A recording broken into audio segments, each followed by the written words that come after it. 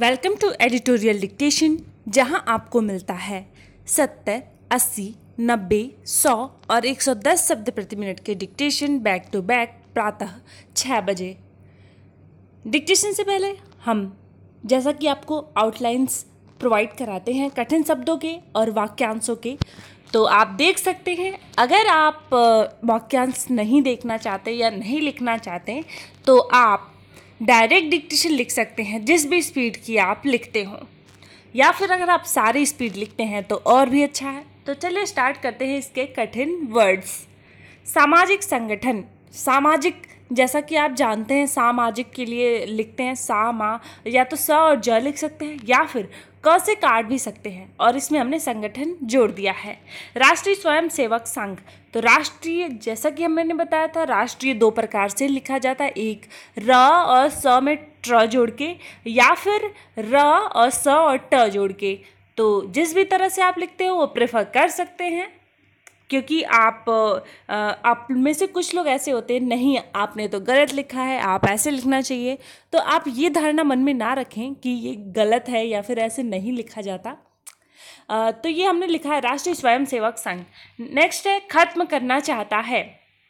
तो ख और त का आंकड़ा लगा के म लिख दिया कर और ना की तरफ़ चाहिए का चाप लगा के है, हमने जोड़ दिया है। कोशिश होने लगती है। कोशिश जैसा कि मैंने बताया था कोशिश दो प्रकार से लिखा जाता है। एक तो क और डबल स बना के, सौ का सर्कल बना के, लेकिन उसमें हम कुछ जोड़ नहीं सकते। इसलिए हमें इसमें वाक्यांश जोड़ने हैं। इसलिए हम क, सौ का सर्किल और सौ पूरा लगाएँगे। एंड इसी में हमने होने लगती है जोड़ दिया है। अब आप कहेंगे कि होने के लिए मैंने पूरा क्यों लिखा है? लेकिन अगर, क्योंकि हम अगर ह को अगर होना पढ़ दें तो हम उसे पढ़ते समय या ट्रांसक्रिप्ट करते समय बहुत सारी गलतियाँ कर देते इसलिए हमने इसमें न जोड़ दिया है ताकि हमें याद रहे कि होना है इसमें। Vote bank. वोट बैंक के लिए ओ की मात्रा इसलिए लाइन पर लिखेंगे, व और ट। बैंक के लिए ब से काट देते हैं। संवैधानिक प्रावधान। संविधान जैसे लिखते हैं, वैसे ही संविधान लिखेंगे, फिर क जोड़ देंगे उसमें एंड उसमें प्रावधान जोड़ दिया हमने। समीक्षा हो सकती है। समीक्षा की फिक्स आउटलाइन होती है या फिक्स वर्ड्स होते हैं तो स, म और क और छ। एंड इसमें हमने हो सकती है जोड़ दिया है। देखा जाना चाहिए कि, देखा जाना चाहिए कि, देखा हमने लिखा एंड ज और न की तरफ़ चाहिए का चाप लगाते हुए की जोड़ दिया है उसमें। लाभान्वित हो सके हैं। लाभान्वित आ की मात्रा इसलिए लाइन के ऊपर लिखा है। ला और, ल और भ, व में त का आंकड़ा। और हो सके हैं, अलग हमने लिखा है, क्योंकि अगर हम उसे लिखते हैं तो हमारा थोड़ा टेढ़ा हो जाता है एंड लिखने में प्रॉब्लम होती है और हमारे दूसरे वर्ड्स छूट जाते हैं। बेहतर होगा कि, बेहतर हम ऐसे लिखते हैं, ब और ह को बड़ा करके तर जुड़ जाता है। बेहतर एंड इसमें हमने होगा कि जोड़ दिया है। शोषित, वंचित शोषित, या तो आप शोषित लिख के ब से काट सकते हैं वंचित के लिए, या फिर शोषित लिख के ब और च और त का आंकड़ा लगा सकते हैं तो उससे भी शोषित वंचित पढ़ा जाता है। राजनीतिक वर्ग, राजनीतिक जैसे राजनीतिक मैंने बताया था, आ की मात्रा है तो राज और न और क तो राजनीतिक हो गया, एंड इसमें हमने वर्ग जोड़ दिया है।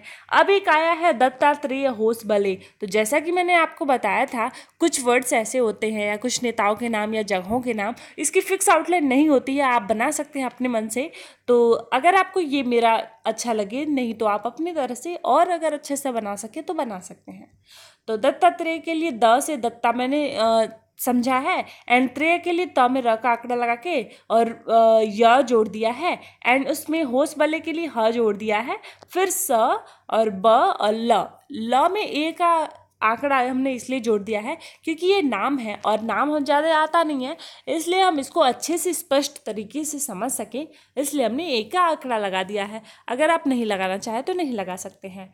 अब बढ़ते हैं डिक्टेशन की तरफ़, पहले आपको मिलेगा सत्तर शब्द प्रति मिनट के डिक्टेशन फिर अस्सी, फिर नब्बे, फिर सौ, फिर एक सौ दस शब्द प्रति मिनट के डिक्टेशन सत्तर शब्द प्रति मिनट डिक्टेशन स्टार्ट होगा। फाइव सेकंड बाद।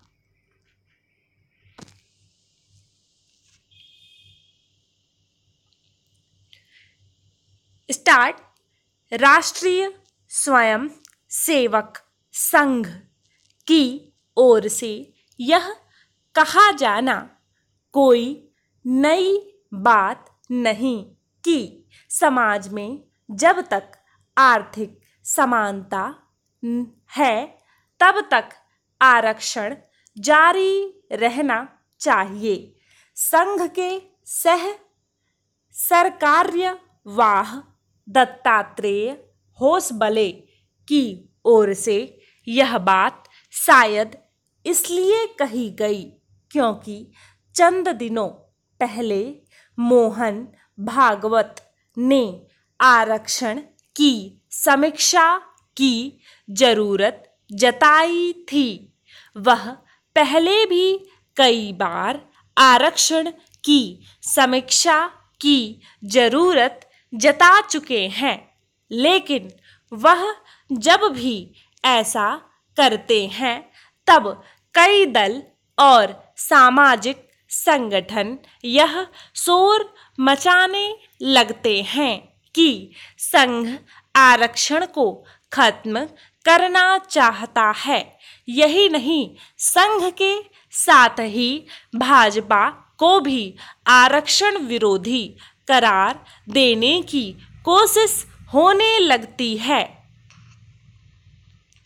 जब ऐसा होता है तो भाजपा भी रक्षात्मक मुद्रा में आ जाती है और इसी के साथ आरक्षण की समीक्षा का सवाल पीछे छूट जाता है।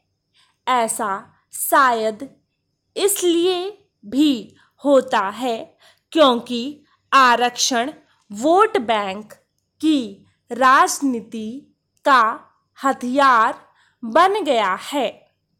आखिर जब अन्य संवैधानिक प्रावधानों की समय समय पर समीक्षा हो सकती है और ज़रूरत पड़ने पर उनमें संशोधन हो सकता है। तो फिर आरक्षण के संदर्भ में ऐसा क्यों नहीं हो सकता? समझना कठिन है कि इसमें क्या हर्ज है कि एस सी एस टी आरक्षण के साथ अन्य पिछड़े वर्गों को मिल रहे आरक्षण की समीक्षा इस उद्देश्य से की जाए कि वह और अधिक प्रभावी एवं उपयोगी कैसे हो सके। क्या यह नहीं देखा जाना चाहिए कि जो वर्ग आरक्षण के दायरे में है, वे उससे उचित रूप से लाभान्वित हो सके हैं या नहीं। निसंदेह, यह भी देखे जाने की ज़रूरत है कि केवल पात्र लोगों को ही आरक्षण कैसे मिले? यह इसलिए आवश्यक है क्योंकि आरक्षण का लाभ उठा चुके लोगों के परिजन भी उसका फ़ायदा उठाने में लगे हुए हैं।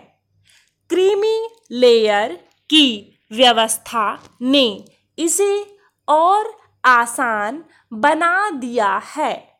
लेकिन शायद ही कोई दल हो जो क्रीमी लेयर को तार्किक बनाने की वकालत करता हो, बेहतर होगा कि आरक्षण की समीक्षा के तौर तरीकों पर बहस शुरू हो। आरक्षण शोषित वंचित तबकों और पिछड़े वर्गों को सामाजिक तौर पर आगे लाने वाली व्यवस्था है। लेकिन बीते कुछ सालों में यह धारणा बन गई है कि यह सरकारी नौकरी पाने का ज़रिया है। दत्तात्रेय होसबले ने आरक्षण की समीक्षा के सवाल पर यह सही कहा कि यह निर्णय लेना इससे जुड़े लोगों और नीति निर्धारकों का काम है। लेकिन इसमें संदेह है कि हमारा राजनीतिक वर्ग इसके लिए सहमत हो पाएगा। इसके बावजूद उससे यह तो अपेक्षित है ही कि वह निर्धनता, निवारण के उपायों पर ज़्यादा ज़ोर दे, क्योंकि तमाम तरक्की के बावजूद भारत में गरीबों की अच्छी खासी संख्या है। सत्तर शब्द प्रति मिनट डिक्टेशन समाप्त हुआ। अब बारी है अस्सी शब्द प्रति मिनट के। डिक्टेशन की वॉइस आपको स्लो लग रही हो, लग रही होगी क्योंकि जो काम हुआ है, हम दोनों लोगों को ही तो आपको एडजस्ट करना पड़ेगा कुछ समय तक, जब तक हाँ कि हमारा जो काम सही नहीं हो जाता। तो चलिए स्टार्ट करते हैं अस्सी शब्द प्रति मिनट के डिक्टेशन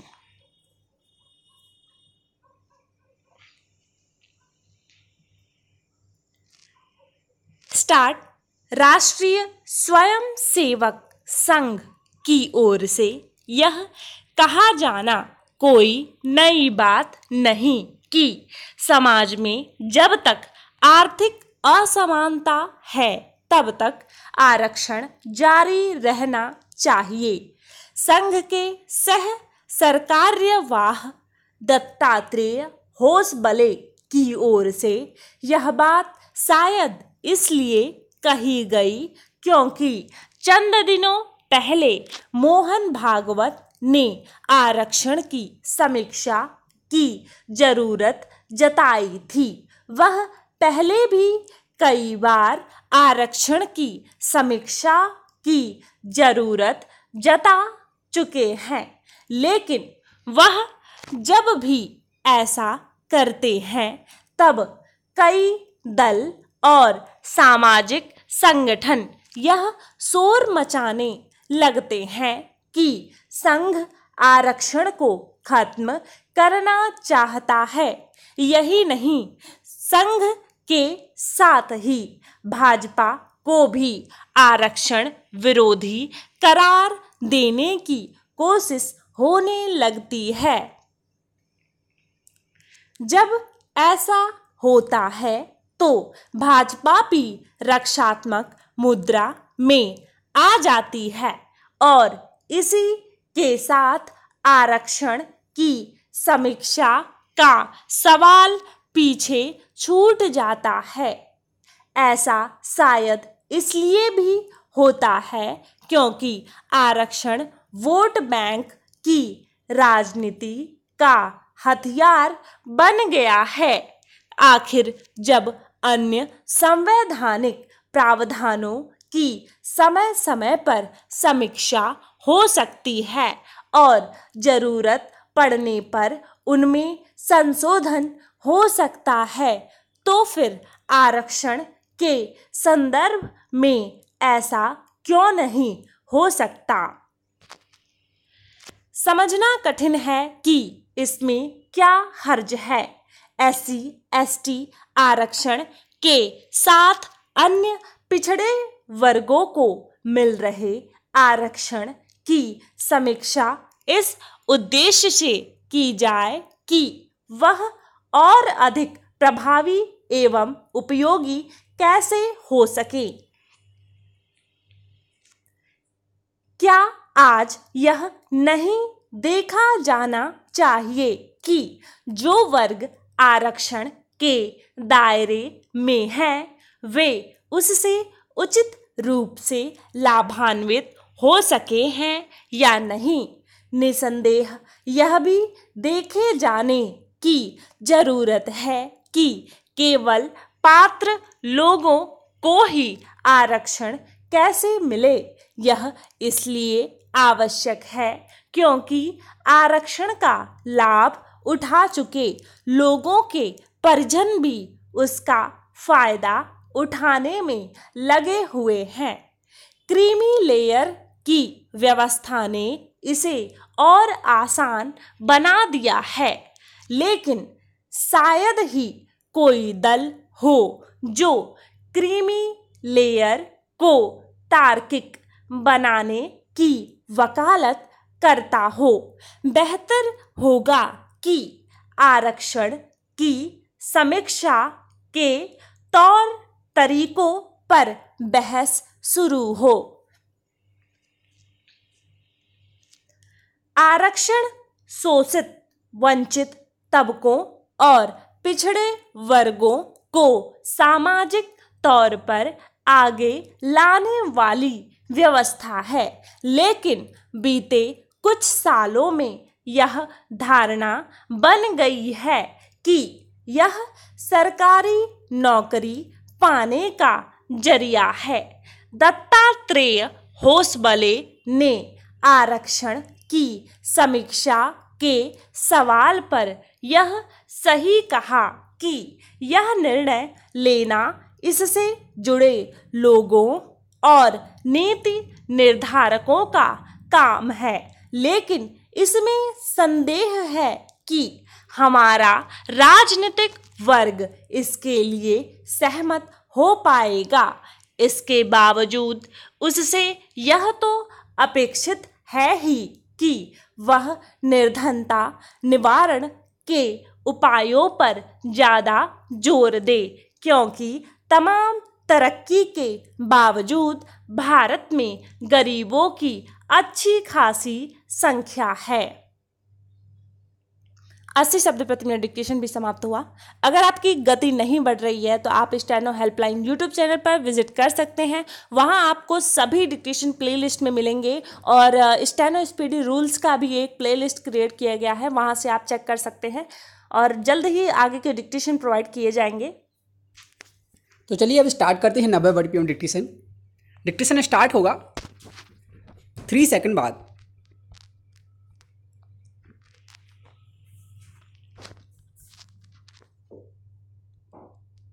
स्टार्ट। राष्ट्रीय स्वयं सेवक संघ की ओर से यह कहा जाना कोई नई बात नहीं कि समाज में जब तक आर्थिक असमानता है, तब तक आरक्षण जारी रहना चाहिए।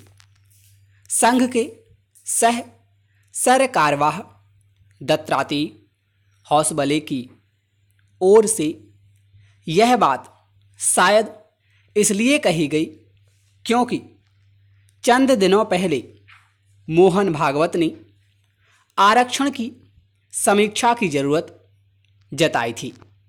वह पहले भी कई बार आरक्षण की समीक्षा की ज़रूरत जता चुके हैं।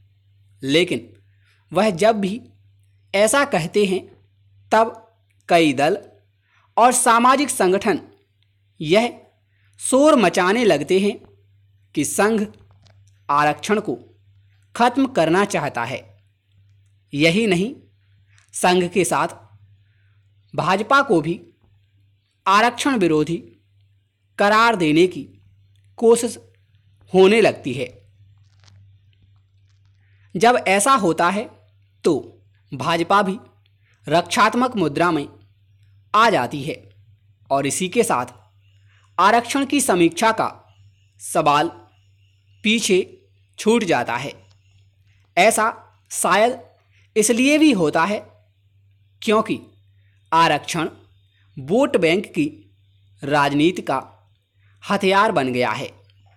आखिर जब अन्य संवैधानिक प्रावधानों की। समय समय पर समीक्षा हो सकती है और ज़रूरत पड़ने पर उनमें संशोधन हो सकता है। तो फिर आरक्षण के संदर्भ में ऐसा क्यों नहीं हो सकता?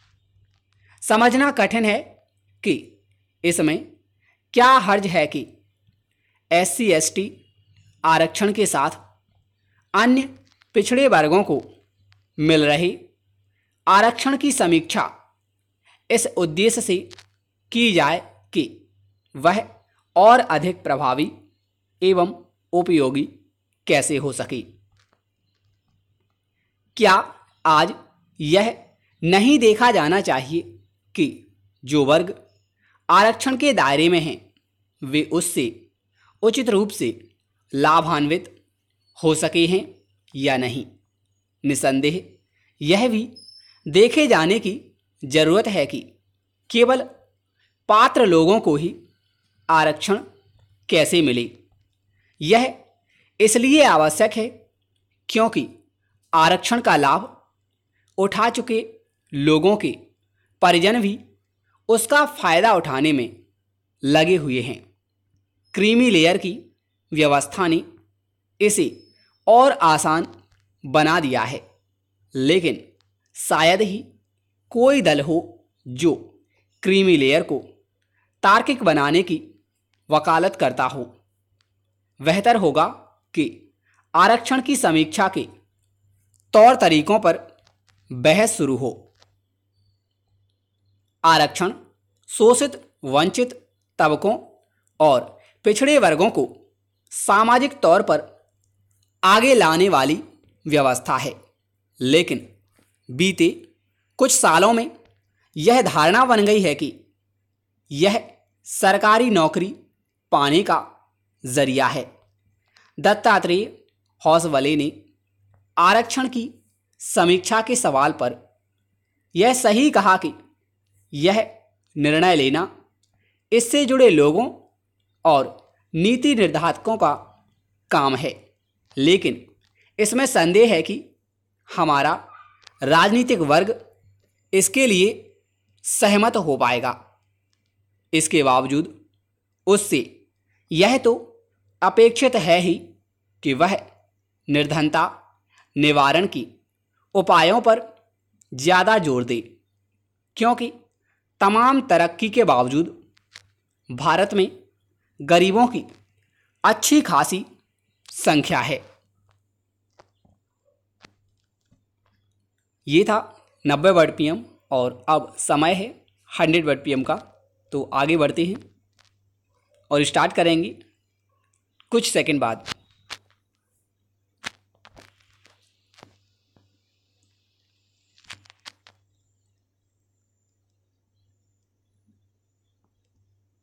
स्टार्ट राष्ट्रीय स्वयंसेवक संघ की ओर से यह कहा जाना कोई नई बात नहीं कि समाज में जब तक आर्थिक असमानता है, तब तक आरक्षण जारी रहना चाहिए। संघ के सह कार्यवाह दत्तात्रेय हौसवले की ओर से यह बात शायद इसलिए कही गई क्योंकि चंद दिनों पहले मोहन भागवत ने आरक्षण की समीक्षा की ज़रूरत बताई थी। वह पहले भी कई बार आरक्षण की समीक्षा की ज़रूरत जता चुकी हैं। लेकिन वह जब भी ऐसा करते हैं, तब कई दल और सामाजिक संगठन यह शोर मचाने लगते हैं कि संघ आरक्षण को खत्म करना चाहता है। यही नहीं, संघ के साथ ही भाजपा को भी आरक्षण विरोधी करार देने की कोशिश होने लगती है। जब ऐसा होता है तो भाजपा भी रक्षात्मक मुद्रा में आ जाती है और इसी के साथ आरक्षण की समीक्षा का सवाल पीछे छूट जाता है। ऐसा शायद इसलिए भी होता है क्योंकि आरक्षण वोट बैंक की राजनीति का हथियार बन गया है। आखिर जब अन्य संवैधानिक प्रावधानों की समय समय पर समीक्षा हो सकती है और ज़रूरत पड़ने पर उनमें संशोधन हो सकता है तो फिर आरक्षण के संदर्भ में ऐसा क्यों नहीं हो सकता? समझना कठिन है कि इसमें क्या हर्ज है कि एस सी के आरक्षण के साथ अन्य पिछड़े वर्गों को मिल रहे आरक्षण की समीक्षा इस उद्देश्य से की जाए कि वह और अधिक प्रभावी एवं उपयोगी कैसे हो सके? क्या आज यह नहीं देखा जाना चाहिए कि जो वर्ग आरक्षण के दायरे में हैं, वे उससे उचित रूप से लाभान्वित हो सके हैं? या नहीं। निसंदेह। यह भी देखे जाने की ज़रूरत है कि केवल पात्र लोगों को ही आरक्षण कैसे मिले।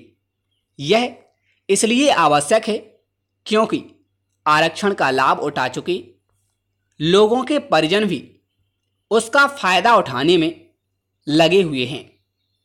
क्रीमी लेयर की व्यवस्था ने इसे और आसान बना दिया है।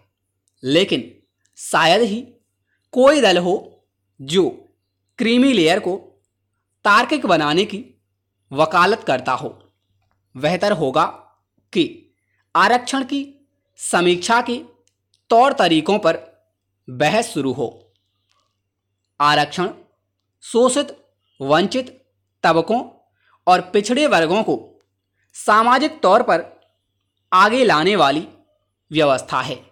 लेकिन बीते कुछ सालों में यह धारणा बन गई है कि यह सरकारी नौकरी पाने का ज़रिया है।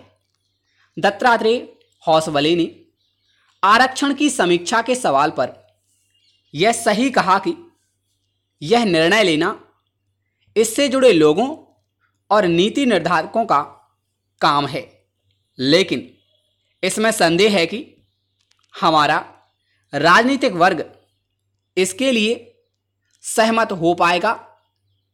इसके बावजूद उससे यह तो अपेक्षित है ही कि वह निर्धनता निवारण की उपायों पर ज़्यादा ज़ोर दे, क्योंकि तमाम तरक्की के बावजूद भारत में गरीबों की अच्छी खासी संख्या है।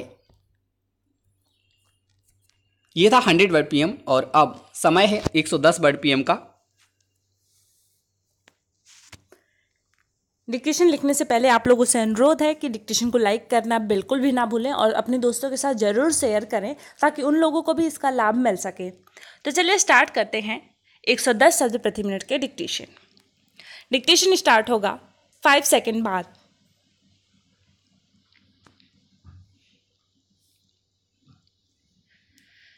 स्टार्ट। राष्ट्रीय स्वयंसेवक संघ की ओर से यह कहा जाना कोई नई बात नहीं कि समाज में जब तक आर्थिक असमानता है तब तक आरक्षण जारी रहना चाहिए। संघ के सह सरकार्यवाह दत्तात्रेय होसबले की ओर से यह बात शायद इसलिए कही गई क्योंकि चंद दिनों पहले मोहन भागवत ने आरक्षण की समीक्षा की ज़रूरत जताई थी। वह पहले भी कई बार आरक्षण की समीक्षा की ज़रूरत जता चुके हैं, लेकिन वह जब भी ऐसा करते हैं, तब कई दल और सामाजिक संगठन यह शोर मचाने लगते हैं कि संघ आरक्षण को खत्म करना चाहता है। यही नहीं, संघ के साथ ही भाजपा को भी आरक्षण विरोधी करार देने की कोशिश होने लगती है।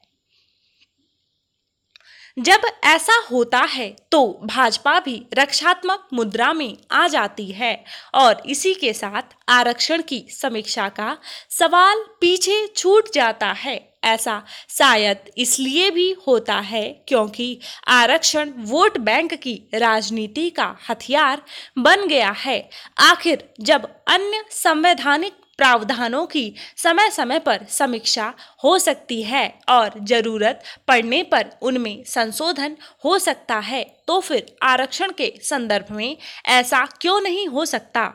समझना कठिन है कि इसमें क्या हर्ज है कि एस सी आरक्षण के साथ अन्य पिछड़े वर्गों को मिल रहे आरक्षण की समीक्षा इस उद्देश्य से की जाए कि वह और अधिक प्रभावी एवं उपयोगी कैसे हो सके?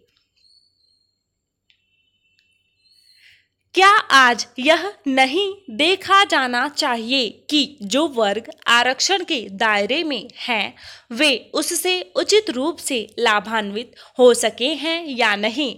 निसंदेह यह भी देखे जाने की ज़रूरत है कि केवल पात्र लोगों को ही आरक्षण कैसे मिले? यह इसलिए आवश्यक है क्योंकि आरक्षण का लाभ उठा चुके लोगों के परिजन भी उसका फ़ायदा उठाने में लगे हुए हैं। क्रीमी लेयर की व्यवस्था ने इसे और आसान बना दिया है, लेकिन शायद ही कोई दल हो जो क्रीमी लेयर को तार्किक बनाने की वकालत करता हो। बेहतर होगा कि आरक्षण की समीक्षा के तौर तरीकों पर बहस शुरू हो। आरक्षण शोषित, वंचित तबकों और पिछड़े वर्गों को सामाजिक तौर पर आगे लाने वाली व्यवस्था है, लेकिन बीते कुछ सालों में यह धारणा बन गई है कि यह सरकारी नौकरी पाने का ज़रिया है। दत्तात्रेय होसबले ने आरक्षण की समीक्षा के सवाल पर यह सही कहा कि यह निर्णय लेना इससे जुड़े लोगों और नीति निर्धारकों का काम है। लेकिन इसमें संदेह है कि हमारा राजनीतिक वर्ग इसके लिए सहमत हो पाएगा। इसके बावजूद उससे यह तो अपेक्षित है ही कि वह निर्धनता निवारण के उपायों पर ज़्यादा ज़ोर दे, क्योंकि तमाम तरक्की के बावजूद भारत में गरीबों की अच्छी खासी संख्या है। डिक्टेशन समाप्त हुआ। अगर आपको डिक्टेशन अच्छा लगा हो तो अपने अच्छे अच्छे रिव्यूज़ कमेंट बॉक्स में अवश्य दें। ऐसे ही प्रतिदिन आपको डिक्टेशन मिलता रहेगा प्रातः छः बजे। तो अगर आप चैनल पर न्यू हैं तो अभी चैनल को सब्सक्राइब कर लीजिए और बगल में जो नोटिफिकेशन बेल आइकन है, उसे दबाना बिल्कुल भी ना भूलें और हमारे स्टेनो हेल्पलाइन यूट्यूब चैनल से जुड़े रहें। धन्यवाद।